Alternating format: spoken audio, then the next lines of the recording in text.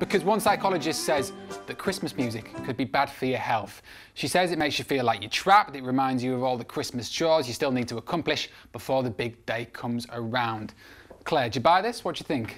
I would definitely agree. Um, I used to work as a waitress in a really busy pub and they used to have the same Christmas songs on loop, 30 minutes of Christmas songs. And if you're there for a whole day shift, it definitely, it does your head you still in. Get, you still get trauma? Do you, do, you, do you go in a shopping centre and you hear this particular song? Which song is it? I do feel sorry for them. It's, there's a really um, long jazz song that comes on. It's about having a very good year when we were 17 and it's really, really boring. It does my head in. All right, Martin, you got to fight the corner for Christmas here.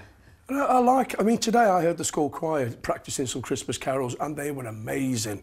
But then I do agree with if you're working somewhere and you hear the same five or six songs being rotated, it would drive me balmy. And as a DJ, playing the same five or six, Mariah Carey, all I want for... Oh, How many times you got to play? You imagine it.